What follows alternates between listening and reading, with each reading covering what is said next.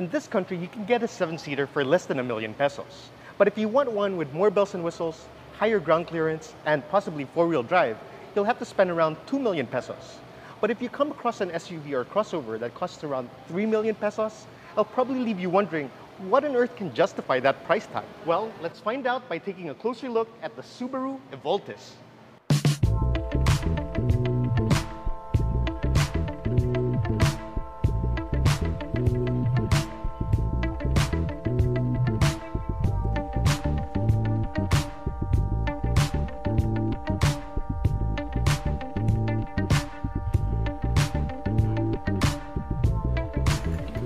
The exterior of the Evoltis doesn't exactly scream opulence, in the sense that it doesn't really look more extravagant than SUVs or crossovers that cost significantly less. In fact, its styling is rather conservative, but that also means that it isn't polarizing or offensive. What I like about this is that even if it has a conventional silhouette, its styling is distinctly Subaru.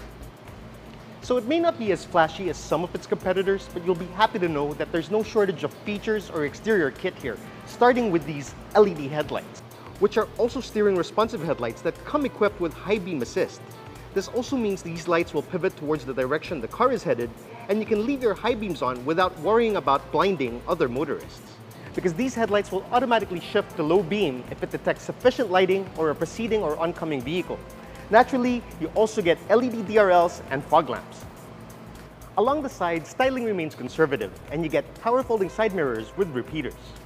The Evoltis rolls on 20-inch wheels wrapped in 245 50 series tires. Behind these wheels are ventilated disc brakes for the front and the rear. Yes, you heard me right, it's ventilated for the rear as well. You also get more than enough ground clearance at 220 millimeters. At the back, you get LED taillights that also sport a very conventional and conservative design. But personally, I prefer these over the Subaru Forester's taillights that look like they're doing something like this. The black body cladding is a bit too thick for my taste, but it does give it a rugged and more outdoorsy vibe. However, I do like the fact that you don't get tacky fake exhausts. You also get a power tailgate with memory settings, and this reveals 504 liters of cargo space, and that's with the third row seats up. So that means it doesn't have to be a toss between more passengers or more luggage. And look, you even get additional underfloor storage. Folding the third row gives you 1,345 liters, and you can even fold the second row to give you 2,449 liters of cargo space. That's massive, but let's see what that translates to when it comes to interior space for the passengers.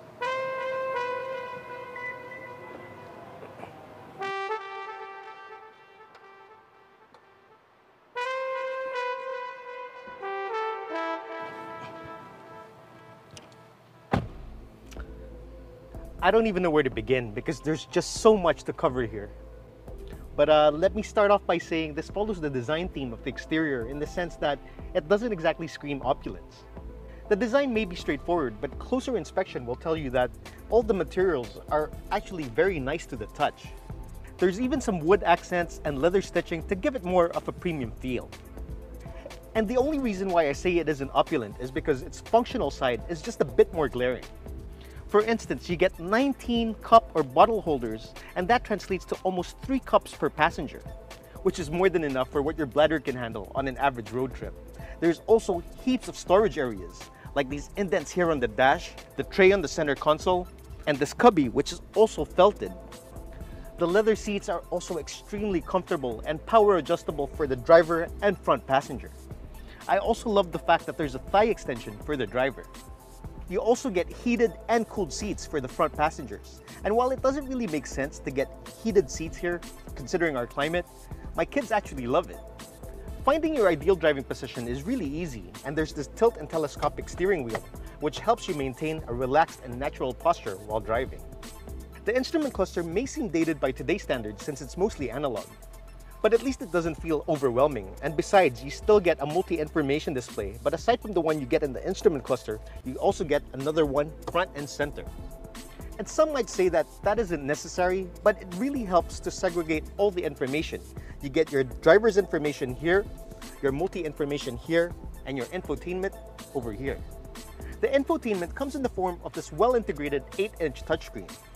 This comes standard with Android Auto and Apple CarPlay. This is also hooked up to a series of cameras, so you get your front view here and your rear view here. But that isn't exactly this vehicle's party piece because this comes with a 14 speaker Harman Kardon sound system, which sounds pretty good. Sound signature is kind of warm and it does provide good separation, while frequency response is pretty broad. Moving on to the HVAC, you get a tri-zone, fully automatic climate control system. And it's really great to see physical knobs and buttons, which makes operating this a breeze. This is the kind of interior that I really wouldn't mind spending hours in every day. But aside from that, you also get nice touches such as this spy mirror. So you can keep an eye on the kids at the back.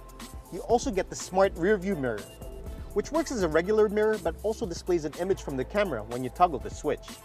And that comes in really handy at night or when your rear view is obstructed by passengers. Speaking of rear passengers, the Evoltis gets a 223 seating configuration. So the second row occupants get captain seats. The seats recline and move forwards and backwards quite a fair bit. There's a lot of room for the second row passengers as there's almost half a foot of room to spare for head and leg room for someone who's 5'8". Getting to the third row is not difficult and space there is adequate, although they aren't the best seats in the house.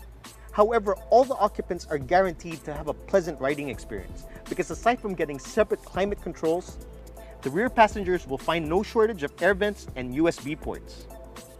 There's also a huge 54-inch panoramic sunroof that makes the interior feel more airy and spacious. So the interior definitely has a lot to offer, but is that enough to justify a price tag significantly more than 3 million pesos? Well, I think it's time to get this out on the road.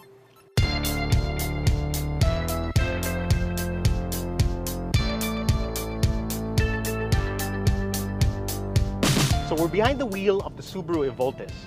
And before we talk about driving dynamics, I want to talk a little bit about what makes a Subaru a Subaru. And you can attribute that to two main things. One, this has a boxer engine. And two, it has a fully symmetrical all-wheel drive system. So the fully symmetrical all-wheel drive system works by detecting which of the wheels has the mo most torque. And in turn, it sends power to those wheels. And that translates to better control and quicker acceleration. Then you have the boxer engine. So what exactly is a boxer engine? Well, the term boxer comes from the fact that the pistons lie flat and they kind of emulate the motion of a boxer on a horizontal plane. And what that translates to is a lower center of gravity and better balance. So a lower center of gravity and better balance equates to better handling, and better handling means the car is more fun to drive.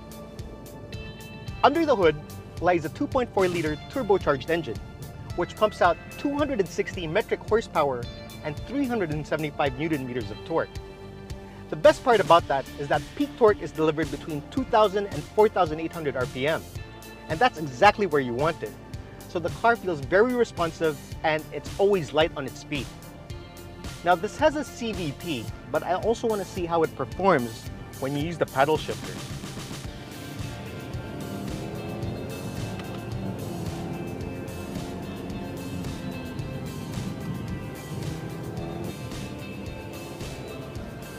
pretty good. So I'm not usually a fan of CVTs. In fact, I don't really like them. But this has simulated gears. And while typically it doesn't make sense to have paddle shifters on a CVT because it just kind of tries to emulate a conventional transmission, this one does it really well. If you didn't know better or if you didn't read the spec sheet, you'll actually think you're driving a conventional automatic. It's that good. So you get the best of both worlds. You get the efficiency and the smoothness of a CVT without that, without any of that rubber band or drone that we all hate in CVTs. This is one of the best CVTs out there. Now another thing that makes this fun to drive is the steering. The steering is nicely weighted. There's a decent amount of feedback and it gets stiffer as you get faster. But what I really like about it is the steering ratio. It is really quick to respond and for something this big, it actually makes the car feel a lot smaller than it actually is. So the steering is really quick to respond to your steering inputs. And it makes driving extremely fun. You'll sometimes forget that you're driving an SUV or a crossover. This can go head to head with some sedans. But SUVs and crossovers need to cater to all the occupants and not just the nut behind the wheel. And in that regard, the Subaru Evoltis delivers, delivers in spades because the ride is extremely comfortable. And we can attribute that to the fact that this has a double wishbone suspension up front and MacPherson struts at the back. And the ride is extremely compliant, yet there's hardly any body roll when you take it fast around the bends. It is really well balanced, and we can again attribute that also to the Boxer engine. This is the kind of car that you can spend hours driving and it'll never feel taxing because the seats are extremely comfortable and the car feels smaller than it actually is, which I already mentioned earlier. But another thing that adds to that is the fact that visibility is really good. You'll never have to guess if you can actually fit this car into tight spaces because it's just that good. Plus the fact that you have a front and rear view camera and sensors all around, so you're well covered when it comes to that. NVH is also extremely good. You can hardly hear the noise outside. The cabin does a really good job in isolating. You hardly hear the engine, and you know, I hardly say that for a car with a CVT because of the droning effect. But this is so well insulated that you actually don't hear the engine, nor the road noise. So it really does translate to a pleasant riding experience not just for the driver, but for everyone on board. So as it stands, you're already getting a lot of car for the money. But we haven't even discussed the fact that this has Subaru EyeSight. Subaru EyeSight is like having an extra pair of eyes to help you stay safe on the road.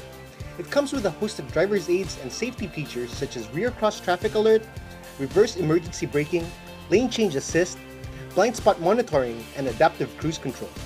The adaptive cruise control maintains your speed and distance from other vehicles. It even works in stop-and-go traffic. The Subaru Evoltis can be yours for 3,480,000 pesos. Now I know that's a lot of money, but at this price point, it's hard to match the Subaru Evoltis in terms of practicality, space, features, performance, and most importantly, safety.